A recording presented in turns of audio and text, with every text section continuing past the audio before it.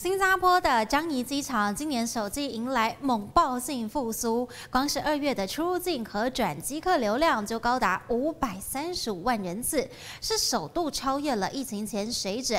那东南亚国家现在也都非常积极在发展观光业。疫情解封之后，全球旅游业快速的复苏，东南亚周边各国，像是马来西亚还有泰国，都在努力的发展观光。而土地比别人少的新加坡呢，努力要透过这个放宽签证，还有名人加持，以及锁定高端客群，还有口碑行销，成功与他国竞争。新加坡受惠于免签政策，陆客再度要升新加坡最大旅客来源国，带动樟宜机场今年首季猛爆性复苏。光是二月抵达、出发和转机客流量就高达五百三十五万人次，首度超越疫情前水准。樟宜机场作为全球航空枢纽，不断扩建，第五航厦的建筑工程预计今年招标，二零二五年动工，二零三零年预计就能投入运作。T5 sounds like a terminal, but actually it's a whole airport by itself.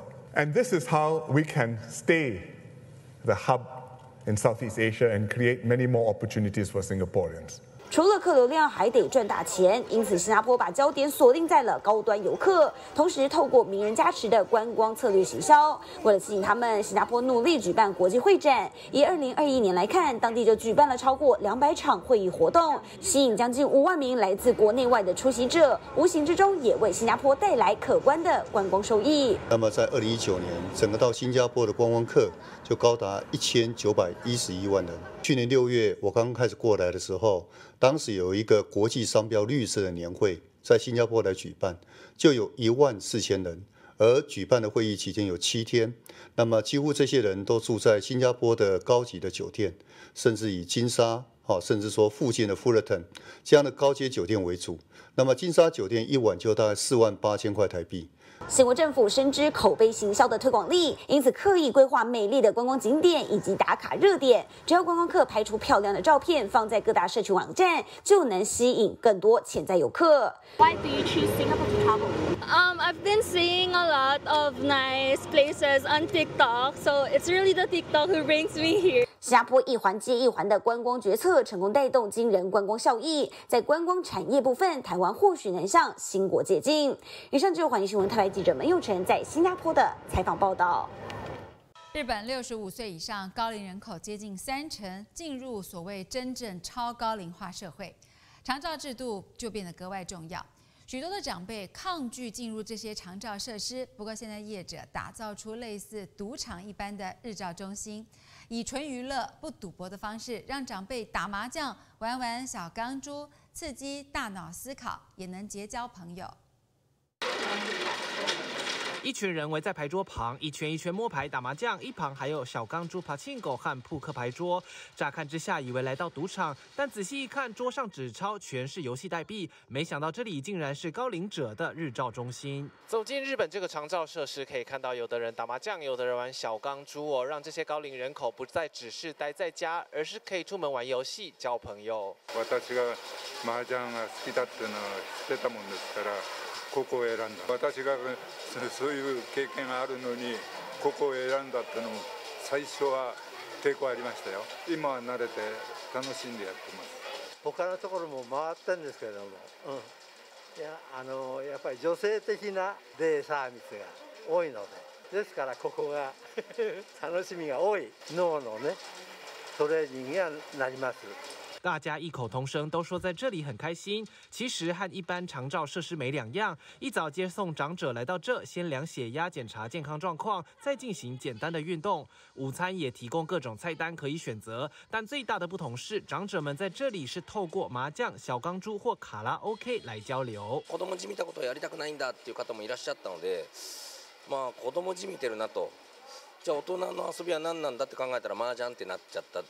本当は行きたくないんですよね。やっぱり介護が必要っていうのをやっぱり人に知られたくないっていう思いも皆さんあるのでなんでやっぱりそういうとこ配慮しながらですねあのまああんまりこうデイサービスの車みたいな感じではなくハイヤーのように黒い車でお迎えに上がったりとか、まあ、あの介護施設っぽくない内装にしてみたりとか业者一边考虑长者的需求，一边修正改善。经历十年时间，在日本全国展开二十多处据点，一方面减少年长者对长照设施的抗拒，一方面透过打牌刺激思考、结交朋友，也有助于保持心情愉悦。介護度が5だったんですけどどんどんお元気になってあの車椅子だったのが歩行器になって最後は杖歩行ぐらいになって介護度も5から3まで改善した方とかもいらっしゃって日本六十五岁以上高龄人口将近三成，已经进入超高龄化社会。业者打造新形态长照服务，除了开创新商机，也能解决高龄化社会面临的课题。关于新闻，失去号日本东京采访报道。 好，要来关注到法国总统马克宏最近他和德国总理肖兹会面，双方认为应该要容许乌克兰攻击俄罗斯境内的军事目标。好，不过美国白宫就重申哦，华府是不鼓励供应到乌克兰的武器用在攻击俄罗斯境内的。那么现在俄罗斯也警告，如果大家这么做，可能就会引起了全球冲突。俄乌战争陷入焦灼，西方领袖似乎坐不住了。法国总统马克宏最近访问德国，拜会德国总理肖兹，开宗明义表示，唯有允许乌克兰对俄罗斯境内目标进行源头打击，才能帮助乌克兰防卫国土。Das muss man ausdrücklich sagen. Sie ist angegriffen und darf sich verteidigen.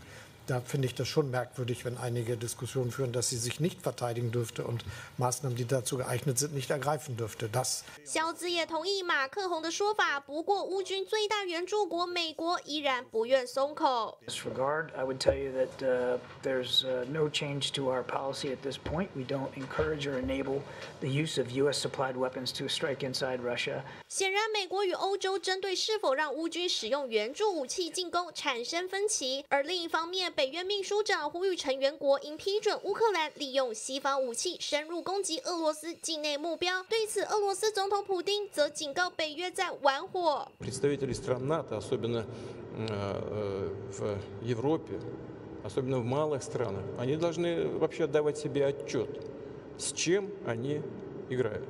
最近，乌克兰总理史米加尔抵达捷克首都布拉格，与盟友捷克、荷兰、丹麦等领袖齐聚，讨论加快为乌克兰供应弹药安全。捷克总理费亚拉也表示，目前已为基辅筹得十六亿欧元，首批弹药将于六月付运，并预计今年底可以提供五十万枚炮弹，希望可以提振乌军士气。怀宇新闻吴光成综合报道。乔治亚总统最近动用了否决权，将极具争议的外国代理人法案退回了国会。不过，这项法案的否决不仅在二十八号又引起了争辩，还再度触发大规模抗议潮。对此，美国国务院也批评乔治亚执政党的行为限制了人民的基本自由。在乔治亚国会里，朝野间对要不要推翻无党籍总统否决外国代理人法案的讨论越演越烈。也开始出现了议员动粗的场面。在野党领袖激动陈述为什么应该要退回这项法案时，遭到执政党议员泼水。不过，即使湿满一身，仍然没办法让执政党乔治亚之梦党推翻这项否决。I am impressed by the government's decision to take, uh, to change the foreign policy trajectory of uh, Georgia and to take Georgia to the direction of Russia. We always had questions about uh, their intentions, but now it's so clear. So all masks are off. 乔治亚国会若是推翻总统提出的否决后，等于是宣告外国代理人法案生效。 上千名亲欧派民众在国会外面期待诉求被听到，他们愤怒抨击外国代理人法案的规定，形同俄罗斯现行制度。而除了国民反弹外，这项法案不断遭到欧美各国批评，不只是不符合民意，法案亲俄的立场也大大打击了乔治亚进入欧盟的前景。The Georgian Dream has disregarded the Council of Europe's Venice Commission legal assessment and that of Georgia's closest partners, who made clear their concerns that the law would stigmatize civil society and media and limit fundamental freedoms. 虽然乔治亚之梦党曾经表示他们有意愿加入欧盟和北约，但目前必须采取较为中间的路线，才不会被卷入乌俄冲突中。而由于执政党指控西方资助的非政府组织试图推动支持 LGBT 权利的政策，国内也有另一派保守派民众支持外国代理人法案。华语新闻发言之综合报道。还要来聚焦的是，印度国会下议院的选举，在六月一号准备进行最后一阶段投票。目前当地非常炎热的高温，不止让投票的选民相当的疲惫，也苦了正在与政府抗争的。农民团体，事实上，为了要争取农作物最低价格，印度农民团体他们已经抗议了好几个月。究竟印度大众满不满意总理莫迪的施政成果？下个月四号这个选举的结果出炉之后，就能够一窥端倪。这场选民超过九点七亿人，号称世界最大规模的印度国会下议院选举，二十五日进行第六梯次投票。不过，在当地炙热高温下，让等待排队投票的民众看起来相当无奈。所幸投票所职工在现场提供水和冷饮，给选民在大热天中解渴。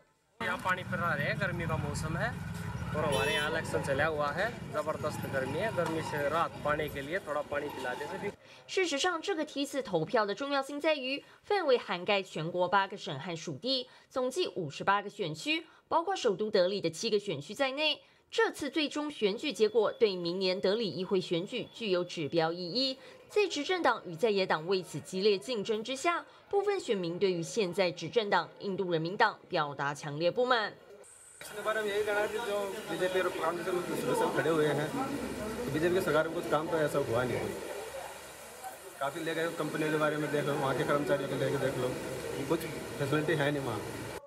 除此之外，还有一群人已经抗争了好几个月。这些在印度旁遮普省的农民集团体，为了寻求法律保障和国家对他们的农作物支持而进行抗议。在二月时，他们与政府针对保证农作物最低价格的谈判就已经破裂。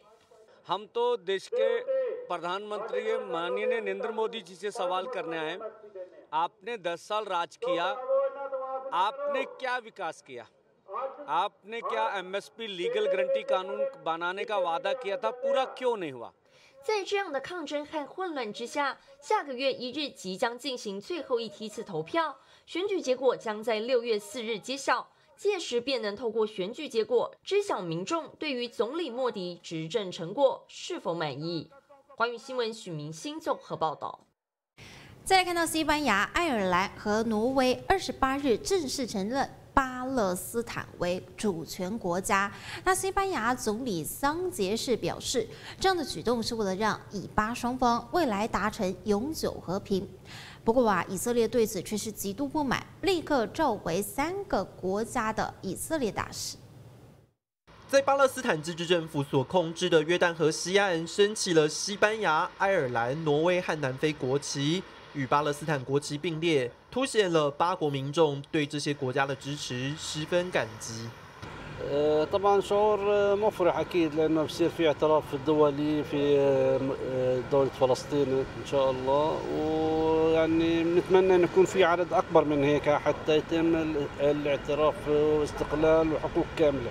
自从上周西班牙、爱尔兰跟挪威宣布将会承认巴勒斯坦国家身份后， 三国二十八日同步正式承认。西班牙总理桑杰士表示，这项决定是为了让以巴达成真正的永久和平，绝非是支持哈马斯的动作。他也表示，西班牙承认巴勒斯坦自治政府为约旦河西岸地区和加萨地区的合法统治当局，同时不承认任何一九六七年后未经以巴双方同意下国界的变动，因此也是东耶路撒冷为巴勒斯坦首都。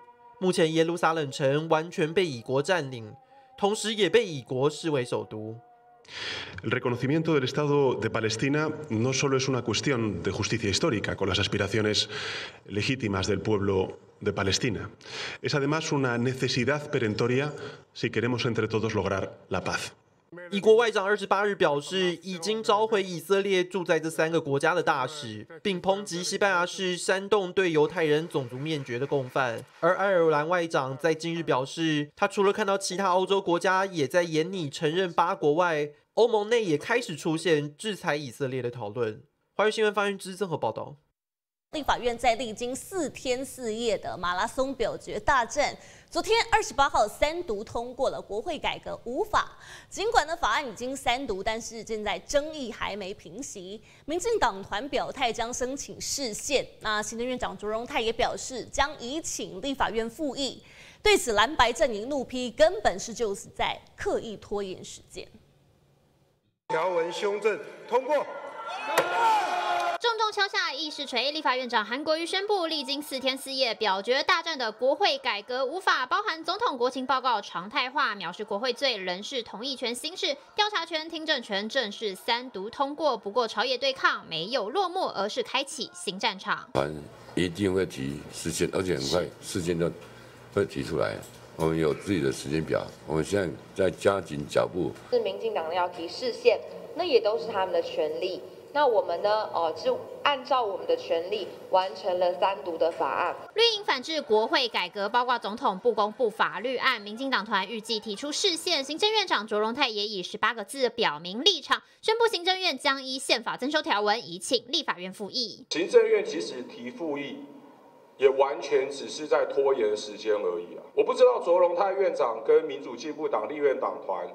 是不是讲好了？行政院的复议，民进党团是尊重。除了提出复议申请释宪，国民党团也分析绿营反制手段，还有一招就是总统赖清德不公布法律案。而过往赖清德就曾拒进台南市议会超过两百三十多天，不公布法律案不无可能。清德兄不再是过去那个赖市长，那如果这次再重蹈覆辙，那他就不是我想象中的清德兄了。尽管国会改革已经三读通过，但朝野大战才正要开始。欢迎新闻吴龙宇、周成辉、科学营台北采访报道。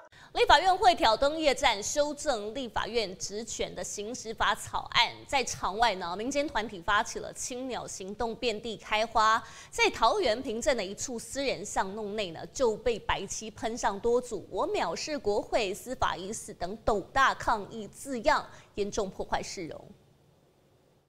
没有讨论，不是民主。路边万头攒动，街道上满满都是人，现场抗议声不断，民众自发上街，手持布条抗议。青鸟行动遍地开花，群情激愤。桃园也有民众不满，直接当街泼漆。巷弄内的道路上喷上“我藐视国会，司法已死”等斗大的抗议字句。附近民众路过都忍不住停下脚步，多看两眼。哪里都喷喷了，你看整条路，他的都拿啊，我们也没有办法啊，就写私人土地啊。没有，桃园平镇区和平路的巷弄内被白漆喷上了标语，但公所表示，虽然被喷漆路段是继承道路，但属于私人土地，公所也无权干涉。因不是公所养护的道路，所以该通道路面喷字，但。没有设置路障，公所无法依市区道路管理条例查报。是土地的一个施设通路，那公部门目前是一个无权经经常去干涉这样。在私有土地上喷漆，要捍卫台湾名著，不过破坏市容的举动难免引起争议。欢迎新闻陈明燕、张祥宇、王悠阳桃园报道。带您关心，现在封面过境，让高雄昨天是下起了倾盆大雨，但没想到这也造成了高雄国际机场好多地方都漏水，走道上放了好几个纸箱，套上塑胶袋来接水，而在出境大厅状况就更严重了，直接拿起了水桶接水，还围起了红龙，让出境的民众直呼真的太离谱了。走道上好几个纸箱套上塑胶袋排排站，上面标语注记着“勿丢垃圾”四个大字。原来是因为天花板漏水漏不停，只能出此下策。我觉得不好看啊。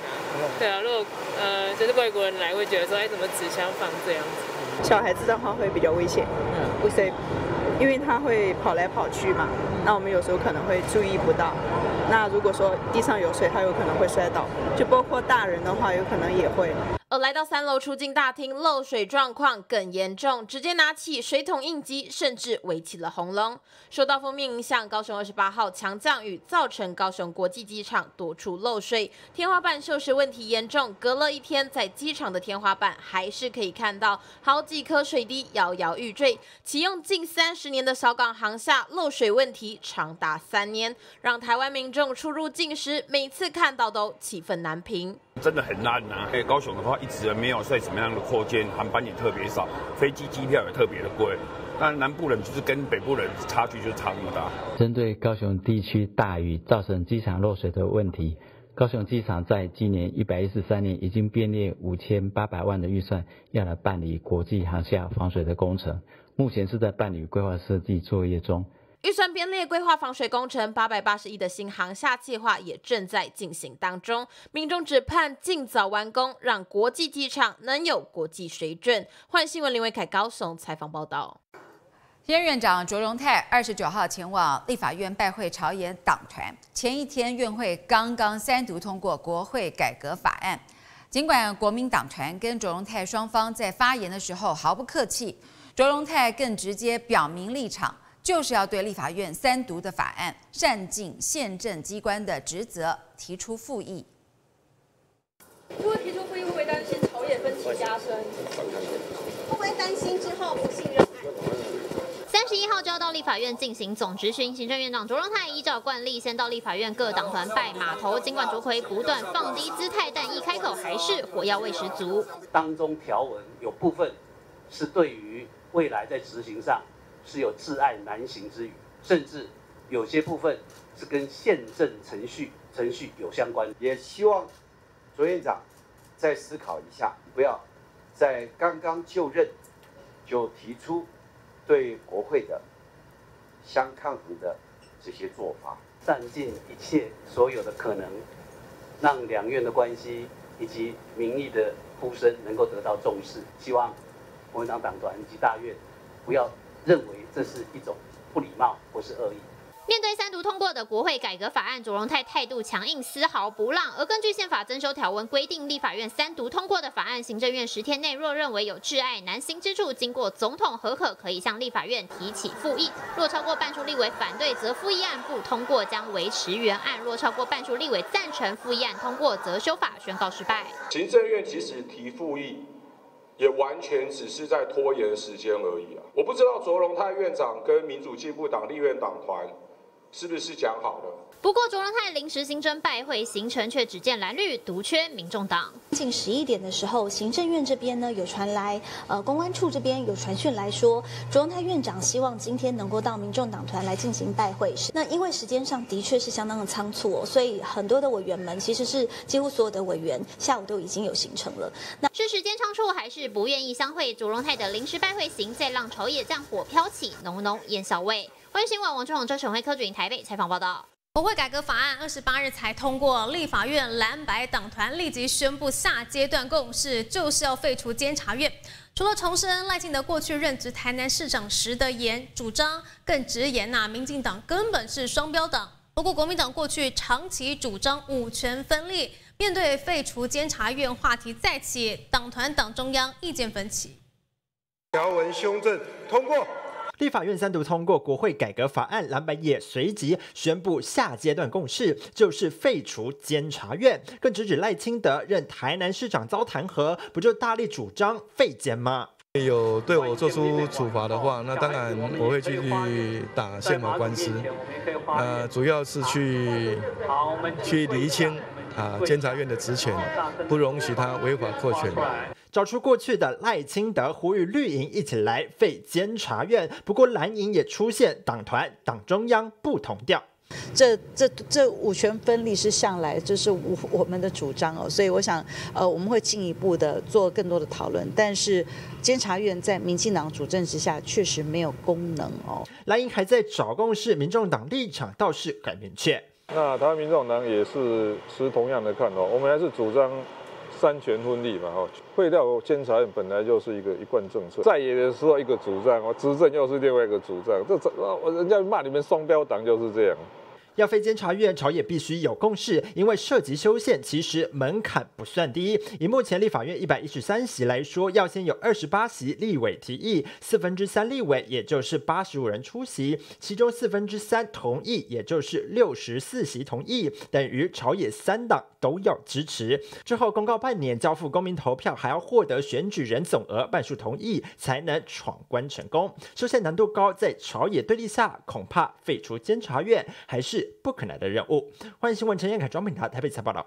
党政焦点来看到国会改革法案，昨天晚间三读通过。最大的功臣之一就是主持议事的院长韩国瑜。面对朝野争议不断，民进党立委丢垃圾、设纸飞机、干扰议事等手段进出。不过韩国瑜还是挺住压力，连散会前还提醒委员，施政总执询要穿正式服装。凌晨也在脸书发文吐露心声，强调会继续加油。我需要进去了。他方上前跟美国众议院外交委员会主席麦考尔握手寒暄。前一天接近午夜，终于完成国会改革法案三读。韩国瑜放下心中大石块，展现独有的韩式幽默。我们现在天气太热了，这个秃头怕太阳晒，我们就往餐厅走，好不好？法案三读通过当下，民进党立委再出招朝主席台猛丢垃圾，垃圾满天飞。朝野对抗之下，韩国瑜依然挺住压力，让国会改革法案顺利三读。直到散会前，还不忘提醒大家注意形象。施政总执行，敬请所有的委员注意服装仪容，不要再穿牛仔裤、球鞋，即使高级餐厅都不准这样子一个穿着。另外。还有十一分钟，我们今天辛苦的寿星吴思瑶的生日即将过去，我们最后用掌声来祝福他这次大寿。院长可以问一下，为什么会希望礼拜五的时候，未来大家都穿西装吗？当天晚上，韩国瑜在脸书发表心情，表示辛苦大家了，沉淀准备，继续加油，获得三万人点赞，韩粉以及党内立委也纷纷留言相挺。即便是没有争议的法条哦，这个民进党也要表决八次哦，让院长要重复的念这些这个字数啊。我在昨天在看旁边，我觉得真的是很辛苦。我昨天还跟他开玩笑说，会不会睡觉也在重复念这些东西呀？大的不管的，管这种小的，管到立法委的穿着。安院长应该是呃，让整个议事的呃，让他更顺畅，保持整个议事中立。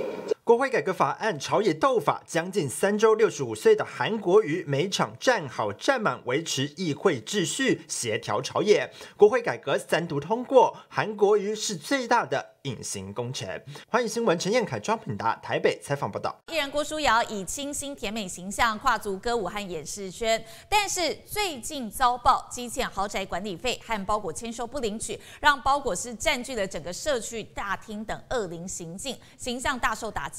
郭书瑶是先在网络发文道歉，今天首次公开出席活动，也哽咽说抱歉，但对于细节不愿意多说，只说将来会严以律己。身穿亮橘色套装，艺人郭书瑶出席高中街舞大赛，舞台上载歌载舞，而这也是她遭曝恶灵行径后首次公开露面。因为我自己个人的生活习惯，然后我没有把生活上的事物处理好，然后造成了这些困扰，我觉得非常非常的抱歉。青山火线再次诚意道歉，艺人郭书瑶日前被爆出管理费未缴以及包括只签收不领取的恶灵行径，形象大翻车，也引发挞伐。是已经缴清了，都所有的事情在周刊爆料出来以前都已经缴清了，就是都已经完成的。管理费虽然已经缴清，但监视器拍下他抽取私会管委会公告，也让他形象大伤。监视器有拍到你把它撕掉公告，那想问一下，是当时是为什么会把怎么样的心情？嗯。就是细节我就不多解释，因为我也不希望让今天的活动失焦啊。我自己也检讨过了，那之后也会就是严以律己，就不会让这些事情再发生。面对争议，郭书瑶不断道歉，只希望风暴赶快过去。但以往的甜美正面形象恐怕已经受到影响。换新闻陈世雄、谢爱纯台北采访报道。大巨蛋商场明天开幕，打破百货既有的营业时间，从早上七点半到凌晨，不论是要吃早午餐还是宵夜，都能满足。好，帮你上下拉面，爱用餐小心碗汤哦，谢谢你，谢谢。热乎乎拉面端上桌，夹起叉烧肉，配上浓郁豚骨汤头，好满足。你没看错，拉面店也有吧台区。另一头夹起酥脆炸鸡，沾辣酱，还有韩总爆红美食起司面包虾，仿佛一秒飞到首尔。半夜两点，宵夜场也能吃得到。在我背后呢，大巨蛋的外侧一整排都是餐厅，全台北最大的购物商场，五月三十号即将开幕，吸引球迷来吃美食。吃完日式、韩式料理，还能踏入机舱吃烧肉、啤酒餐厅，边看球赛边吃美食。大巨蛋坐满可以达四万人，瞄准赛后夜经济，业者期待商机。但没有球赛和表演时，会有人潮吗？这一区都还是一个算是新的园区，平日会有可能针对附近的上班族有一些比较优惠的，例如说午间限定的套餐之类的方式。那其实这边我们是都蛮乐观，还蛮看好在整个这大巨蛋商圈的商机。所以在平日部分，我们会推出一些比较限定的餐点，那特别是在我们的平日的晚上，甚至宵夜时段也会推出限定的商品。以这间韩式餐厅为例，六月份前两周假日定位九成满，平日则是六到七成。未来除了门票、球衣等特殊活动，可能还会针对平日来设计折扣，吸引客人。民众也很期待，影响很大吧？价位合理，然后东西可口的话，应该就可以吸引这边商办的人。不会，要等旁边百货公司盖好，可能才会比较愿意过来。有了地缘优势，大巨蛋商场能不能打造出新的夜间商圈，就看民众买不买单。环宇新闻林国汉、黄轩轩台北采访报道。最近天气多变化，当心免疫力下降，病毒找上门了。肺炎链球菌感染确诊数有上升趋势，因此卫福部也宣布短期开放五十到六十四岁的民众公费接种，一直到库存用完为止。另外，也有生技公司和医院共同研究发表新药，能够有效抑制新冠病毒、肠病毒，甚至是俗称皮蛇的带状疱疹病毒等八大病毒。封面过境，气温忽冷忽热，一不小心免疫力下降，出现发烧、咳嗽、气喘的症状，当心是肺炎链球菌找上门。肺炎链球菌哦，目前来说呢，还是一个肺炎的一个社区型肺炎的一个主要感染细菌来源呐。